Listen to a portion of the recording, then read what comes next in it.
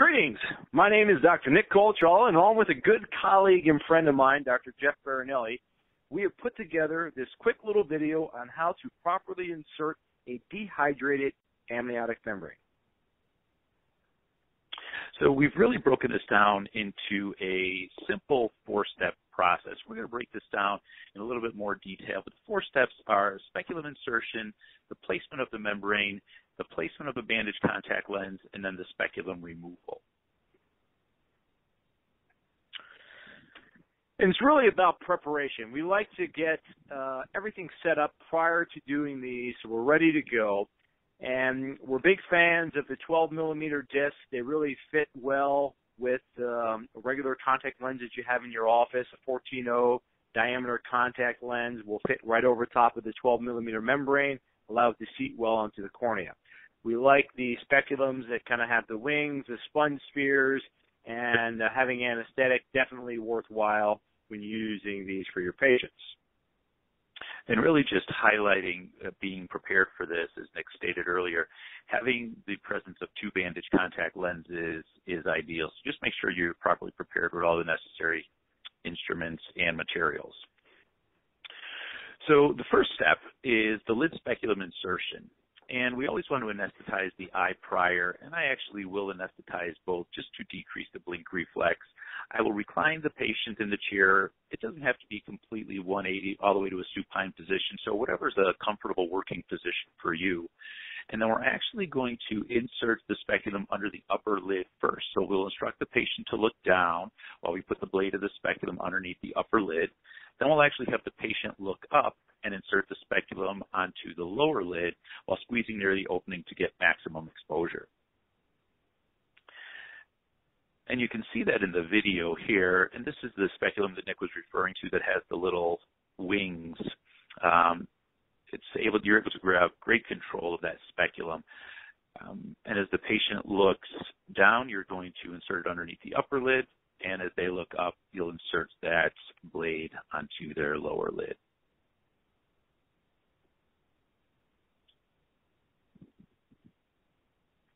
Great.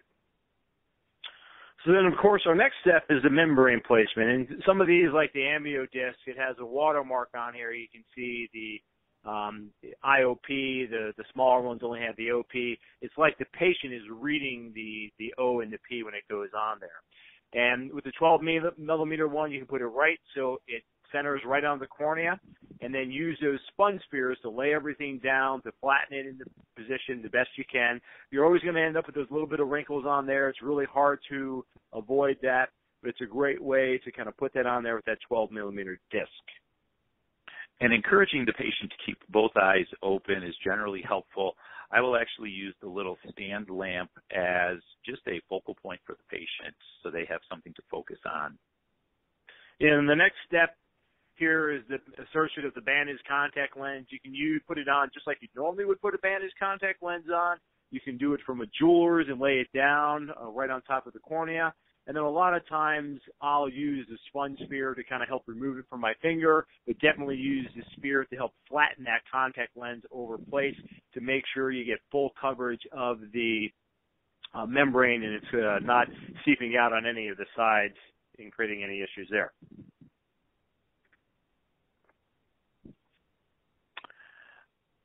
And then the lid speculum removal, this is the fourth and final step. So we're actually going to do it in the opposite order of the speculum insertion. So we're actually going to remove the lower lid first. So we instruct the patient to look up. We'll remove the speculum from the lower lid and then instruct the patient to look down while we remove it from the upper lid. So you really want to make sure that you're getting the cornea of the eye out of the way. So as you take that speculum out, you're not going to be taking the membrane or the contact lens with it. So here we go. Stand the patient, look up, get the cornea out of the way, and then look down. So once again, look up. You can see the lower lid will kind of grab that. And then you have them look down, get that cornea and the membrane contact out of the way.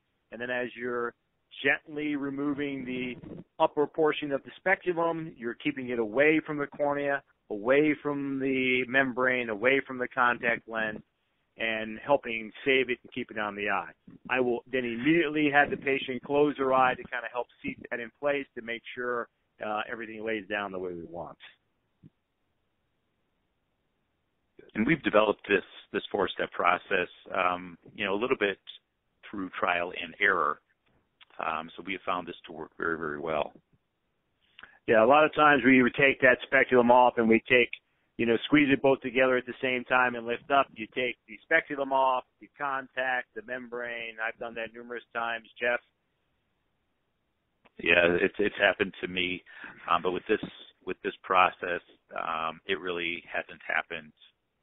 This has made things far easier. And I like this last slide bit. Uh, I like to call it fine tuning, just in case the membrane needs to move a little bit or contact needs to move a little bit. But it really kind of shows that the contact and the membrane are two distinct separate entities, and they're not married together. Sometimes uh, there's um, some clinicians that talk to us. They put the membrane in the contact lens and put that on the eye. That's really not the most effective way to kind of use this product. You really want to put it on with the speculum like we just showed and then the contact lens will go over top. So then it'll help uh, seat the membrane into the cornea, dissolve it where it needs to be without running into problems with the, the contact lens itself. So thank you for listening. Hopefully there's some useful information here, either if you are just getting into the use of amniotic membranes in your practice or if you've been using them in the past. Thank you for listening to us.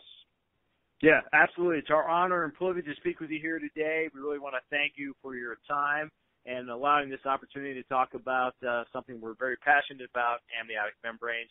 Our email addresses are here. If you need to get a hold of us, please feel free and let us know how it's going. We appreciate it. Thank you.